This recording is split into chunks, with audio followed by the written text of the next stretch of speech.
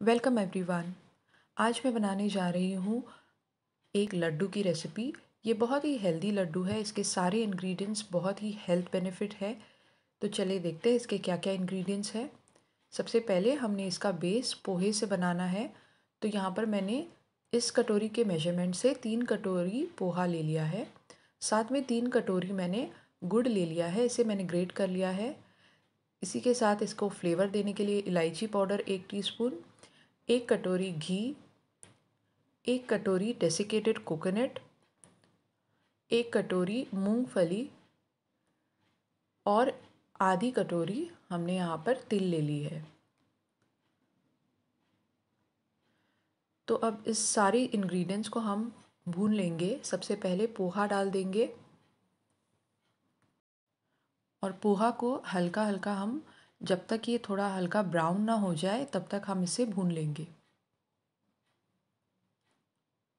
ये देखिए ये ब्राउन होना शुरू हो गया है और इसकी साइज़ भी थोड़ी सी श्रिंक हो जाती है भूनने के बाद। तो इसे आप छः से सात मिनट तक भून लीजिए।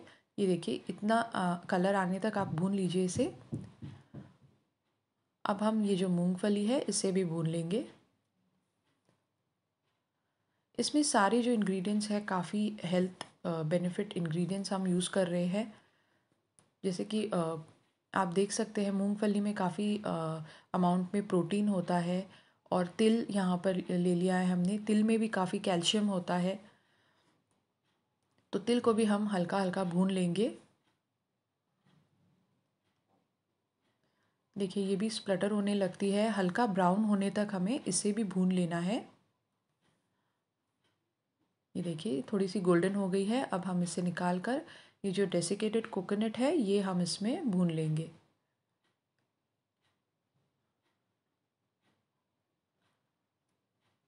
इसे भी हम ब्राउन होने तक हल्का हल्का भून लेंगे। सारी चीज़ें आप मीडियम आँच पर भूनें, वरना बहुत जल्दी ये चीज़ें जल जाती है।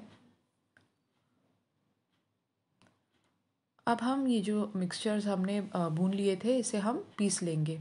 सबसे पहले हम पोहा को मिक्सर में बारीक कर लेंगे। बिल्कुल पाउडर करना है हमें। ये देखिए, इस तरह से ये पाउडर फॉर्म हो चुका है। अब इसी के साथ हम मूंगफली भी पीस लेंगे। इसका भी हमें पाउडर बना लेना है। ये देखिए, ये भी बिल्कुल हमने बारीक पीस लिया है। अब ये जो डेसिकेटेड कोकोनट है, मैं इसे ऐसे ही डाल रही हूँ, आप इसे भी पीस सकते हैं। बट ये ऑलरेडी थोड़ा पाउडर्ड होता है तो मैंने डायरेक्ट डाल दिया है और तिल भी हमने डायरेक्ट डाल दी है। साथ में अब इलायची पाउडर हमने डाल दिया है। इसे आप अच्छे से मिक्स कर लीजिए। अब ये जो गुड़ हमने खींच के रखा था, इसे भी हम इसमें मिक्स कर लेंगे। अच्छे से ये सारी इंग्रेडिएंट्स हमें मिक्स कर लेने हैं। अब ये देखिए, ये जो मिक्सचर है, बहुत ही सूखा सूखा है। अब हम इसे घी में ये सारी जो इंग्रेडिएंट्स है, सब मिक्स कर लेंगे।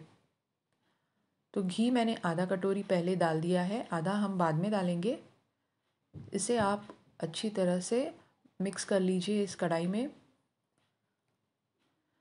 ताकि ये सारे इंग्रेडिएंट्स एक साथ मिल जाए और ये जो गुड़ है ये भी पिघल जाए।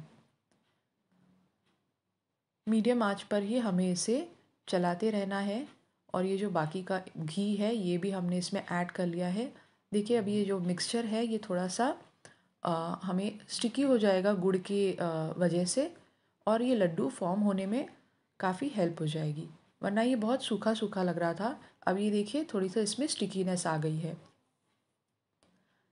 ये देखिए परफेक्ट ये घी और गुड़ और बाकी के सारे इंग्रेडिएंट्स परफेक्टली मिक्स हो गए हैं और ये लड्डू भी फॉर्म हो रहे हैं इजीली तो आप इसे हल्के गरम इसमें ही आपको इसे लड्डू फॉर्म करने हैं।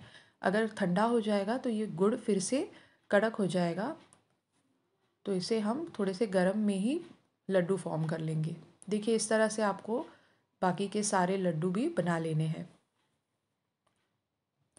ये देखिए, मैंने सारे लड्डू बनाकर रेडी कर लिए हैं। आप इसे ज़रूर ट्राई करें। ये एक बहुत ही हेल्दी रेसिपी है। और अगर आपको ये रेसिपी पसंद आई है तो लाइक करें। मुझे कमेंट सेक्शन में बताएँ कि आपको ये रेसिपी कैसी लगी है। और मेरे चैनल को सब्सक्राइब भी ज़रूर करें।